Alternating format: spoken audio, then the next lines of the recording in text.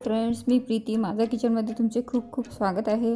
Friends लोणच्यामुळे जेवणाची taste आणखी वाढते. म्हणून आज आपण पारंपरिक पद्धतीचे दोन किलो कैरीचे घरगुती मसाल्यापासून बनवलेले वर्षभर टिकणारे लोणचे योग्य प्रमाणासहित कशा पद्धतीने बनवायचे ते बघणार आहोत. व्हिडिओ आवडल्यास लाईक शेअर कमेंट करा. माझ्या चॅनलला सबस्क्राईब केलं नसेल तर सबस्क्राईब नक्की करा. व बेल आयकॉनवर प्रेस करायला विसरू नका.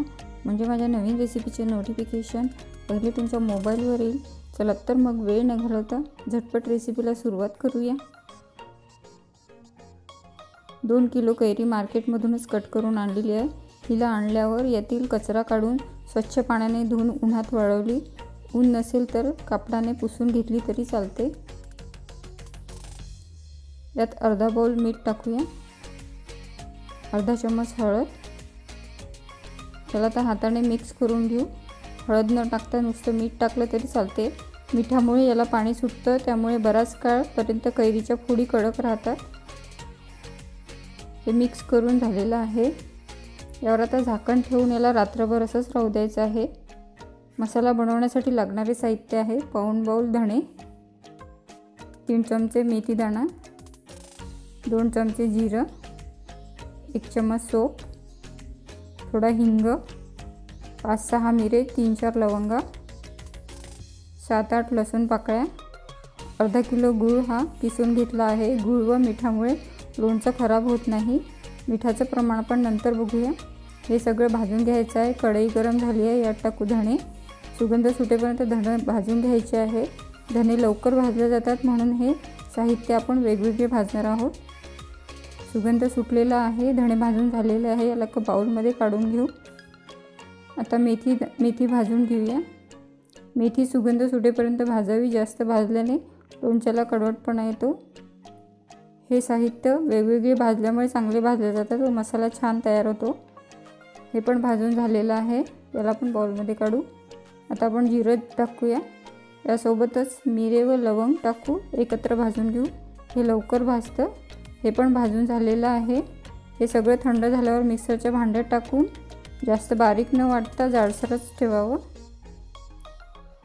मसाला वाटून झालेला आहे.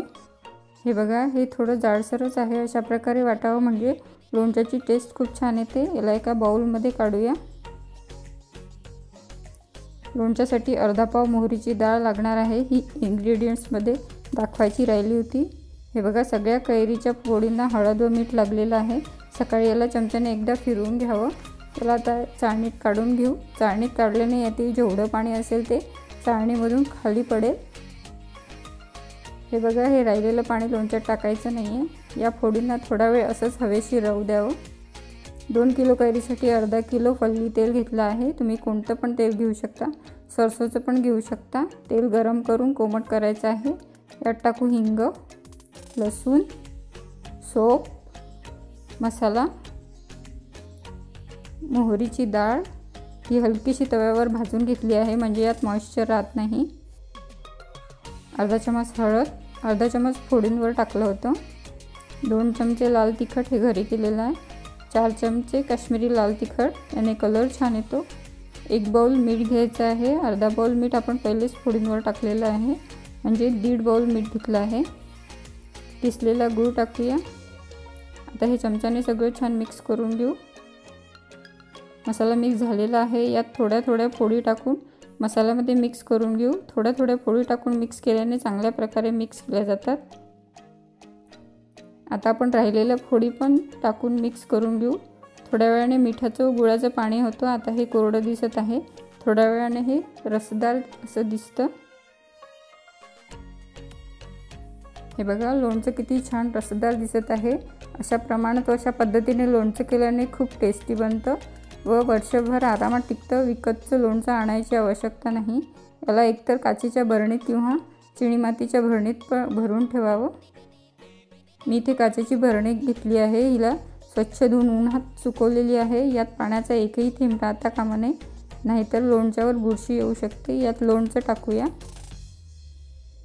दुसऱ्या दिवशी लोणच्याच्या बरणीला हलवावं म्हणजे मसाला व तेल सगळ्या लोणच्याला लागतं असं दोन ते तीन दिवस करावं.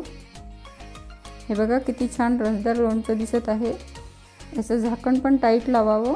अशा पद्धतीने लोणचं केल्याने फोडी बराच काळ ताज्या कडक राहतात. लवकर नरम पडत नाही म्हणजे लोणचं ताजं असल्यासारखं वाटतं.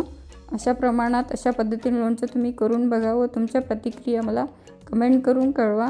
चला तर मग भेटूया अशाच प्रकारच्या नवीन रेसिपीसोबत स्वस्त रहा खुश रहा. वेळात वेळ काढून व्हिडिओ बघितल्याबद्दल धन्यवाद.